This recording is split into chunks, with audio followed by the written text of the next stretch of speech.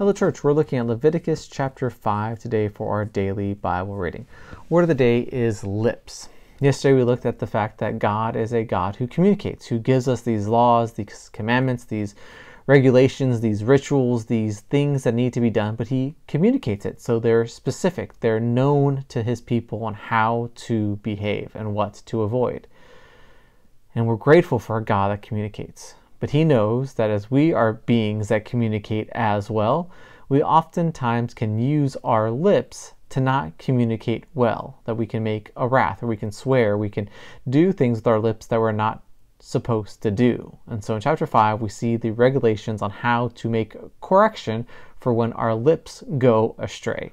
And so, once again, uh, realize God's grace, His mercy, but also the fact that since He created us, He knows how we will behave. And He knows when we are going to use our lips for things that aren't good. And so we can be grateful that He forgives us as long as we use our lips to confess our sins, and He is faithful and just to forgive us of our sins and cleanse us from all unrighteousness.